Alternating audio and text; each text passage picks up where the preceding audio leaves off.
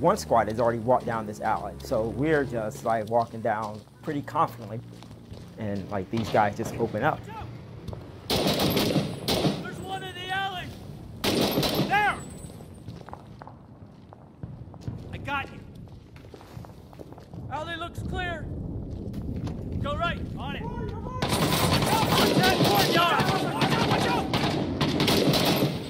Suppressing fire! That was the go command. One tap issues orders to your team based on what you're pointing at. Pin enemies in place with suppressive fire while you flank.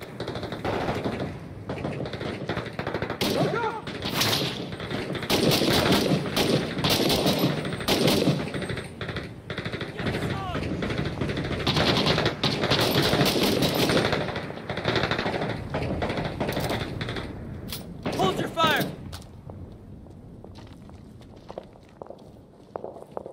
Order your team to stack on a door. Breach it! Open the door! On it! The go command makes it as easy to direct your team as it is to fire your weapon. Go, go, go!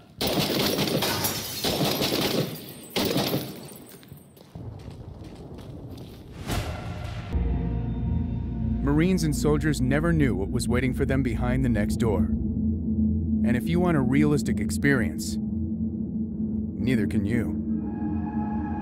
Six Days in Fallujah reshapes the battlefield every time you play. Each room, each building, even the entire neighborhood is generated procedurally. Every map is a new map. So just like actual combat, you'll never know what to expect. You hear that?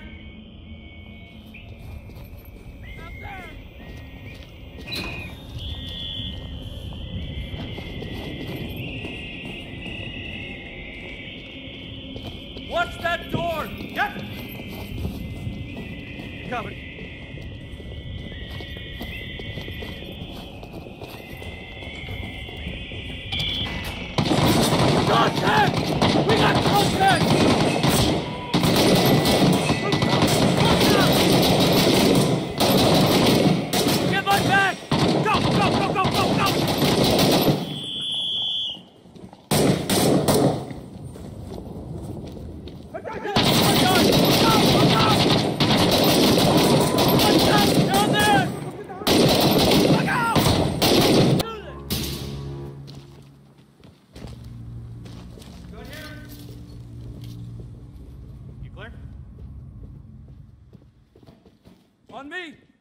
Let's do this. I got this one.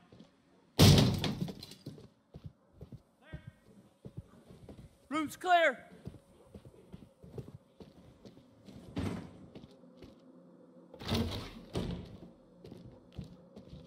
Good here.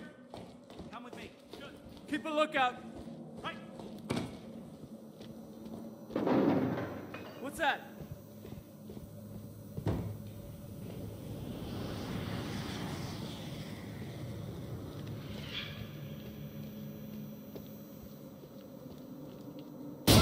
On our left!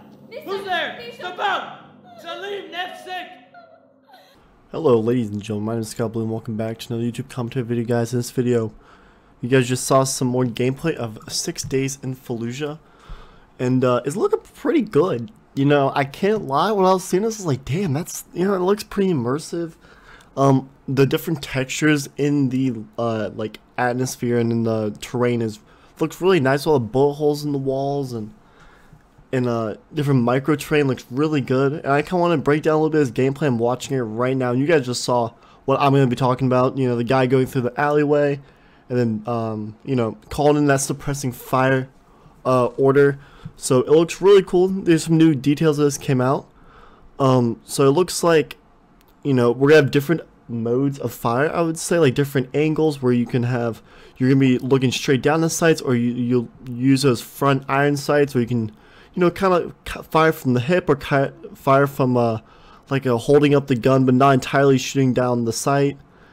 Um, maybe there's a different like fire selector, like rapid three round burst, or uh, different firing modes. And then you can see him um, stack up on this door and push into his building, and then our guy's gonna give him suppressing fire through the uh, through the window so nobody shoots out. Looks pretty good. I really like it. I think it's going to be really good for uh, team play and really good for um, it's going to be really good for another, you know, hardcore shooter game to come out. And then we got a few guys in this uh, really close course scenario, both with their M4s. And then it goes into this really slow down. So this the slowed down camera view where the train's changing. So it looks like it's going to be um, changing terrain. You know, the all the buildings are going to change every round you play. So you never know what's going to be around that corner, which really puts in a really big emphasis on taking this game pretty slow, really seeing what's behind each corner, and um, communicating with your team or with your squad and giving the right orders, and uh, other things like that. So it looks really good. I'm I'm really looking forward to this game even more now that we've seen gameplay. And then you see him like uh, open the door and he gets fire and then he shoots around the door but doesn't aim entirely down the side, just kind of put suppressing fire down. It looks like some of that like tree branch stuff's kind of uh, falling, you know, off the tree. It looks really interesting, I think, you know. And then he fires on the two, uh, two, three guys down the on the ground level on the street. And again, he's using those different firing modes. So it looks really good. I really want to see like some vehicle gameplay or so. That would be really cool. Um, again, clearing more buildings. And I think this game's going to be, you know, co-op or I have a multiplayer section to it. And maybe the campaign be co-op as well. I definitely could see that. But um, yeah, I just want to share some quick gameplay with you all. I know it's a really quick video, but it's mostly just, you know, just showing the gameplay. Looks like, uh, looks like it's coming along very, very well. Um, so yeah, that was a very, very quick video, guys, of course. So, um, I'm very excited. If you guys are as well, I'll definitely keep you guys updated like I have been with this game called Six Days in Fallujah. So it's on Steam. Check it out. Put in your wish list or whatever. And uh, yeah, I'll see you guys next video. It's very quick. Love you guys. Peace.